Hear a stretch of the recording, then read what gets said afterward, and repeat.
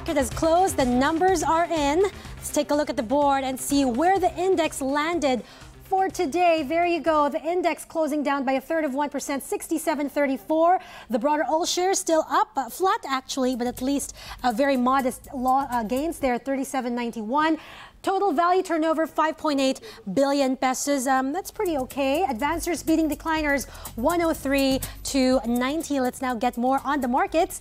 Let's bring in Luis Limlingan, head of sales of Regina Capital. Luis, good to see you. Hi. Hi, Mimi. Good afternoon. Thanks for having me again. All right. Um, what else do you see moving in the final stretch of the year when you look at the PSE index? Well, I think at least for the end of the year, what needs to be determined is really the direction of both the Fed and the BSP, res- uh, respective of the interest rate policy. No, and what's going to further influence that is probably going to be inflation. Also, with regards to the Philippines, it's also going to be, or we think it's also uh, there's going to be a heavy influence on the peso right now. No? So at least the Philippines are going to release their inflationary data on Thursday, if I'm not mistaken. Then the following week, of course, they're going to have the BSP meeting. Uh, the US is going to be a uh, few days delayed. Mm. So I think those are the those are the data that they're going to be looking for because that probably is going to set the uh, tone for the beginning of the year and the rhetoric of both uh, Fed and BSP officials on how they are going to be uh, they're going to be positioning the rates is also going to influence equities market moving forward. And, and what do you think is the market pricing in? Are, are we overestimating good news from central banks or what do you think? Are we paring back those expectations now? Well, at least if we look at the inflationary data, which they're uh, which is coming out on Thursday, I think there some are saying it's going to be almost the same mirror of last month, which is probably 2.3, 2.4 percent. Uh, that would give the BSP room to cut rates, but I think they're also or they're they might be concerned with the peso and mm. the Fed because if the if the inflationary data in the U.S. Um, is not as been is not as benign as what we're seeing in the Philippines, then the Fed may may not cut rates. But we think so far the status quo is they'll be a bit more aggressive with the rate cutting. Okay. So I think those are the uh, the two sites that we're looking at at least for the next two weeks. And so, when you think that we're going to be more on the aggressive side for rate cutting cycles for both the Fed and the BSP, do you think? Do you think 2025 is still poised for a bull market despite you know, all of the uncertainties with Trump and geopolitics, for example?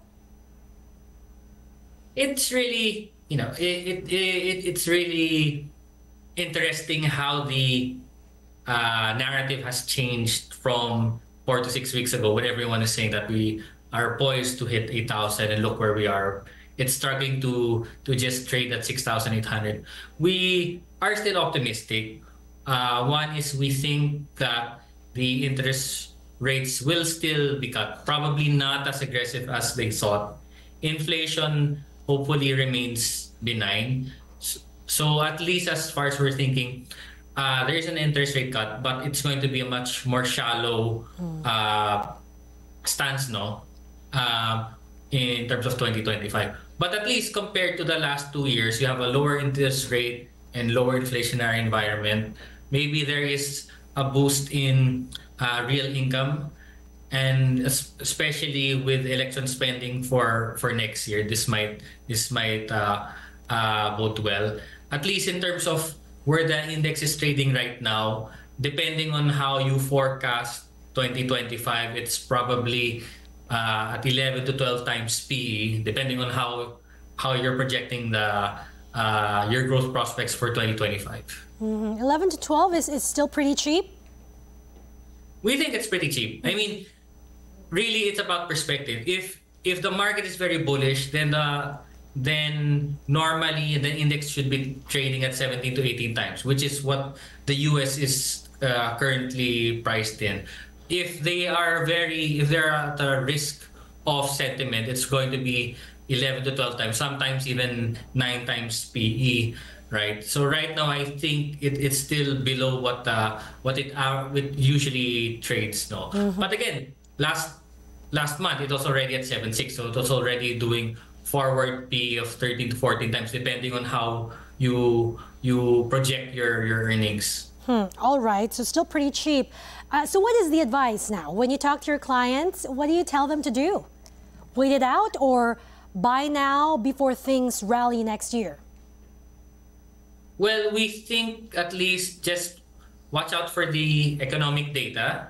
Again, uh, as, as I mentioned, uh, read into the rhetoric, no? Um, I would probably uh, just be a bit more cautious and I want to see how the first few days of the Trump administration plays out.